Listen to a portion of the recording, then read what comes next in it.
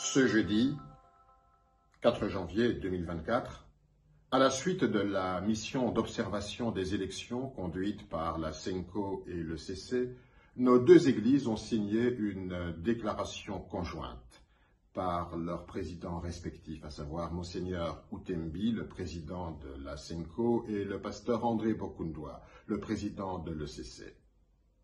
Dans leur déclaration, nos deux églises déplorent euh, les violations de la légalité qui ont émaillé les élections du 20 décembre dernier.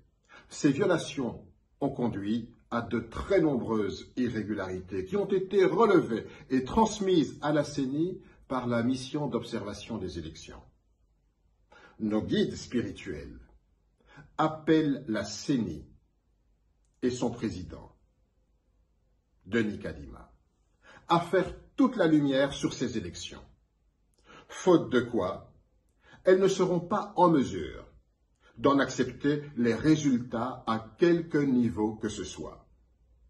La clarté du message de nos deux églises est absolument sans équivoque.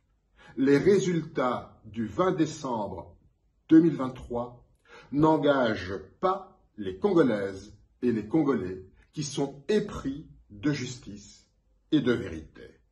Personne, absolument personne, ne pourra jamais revendiquer le moindre début de légitimité sur la base de ces résultats fabriqués sur la fraude et le mensonge.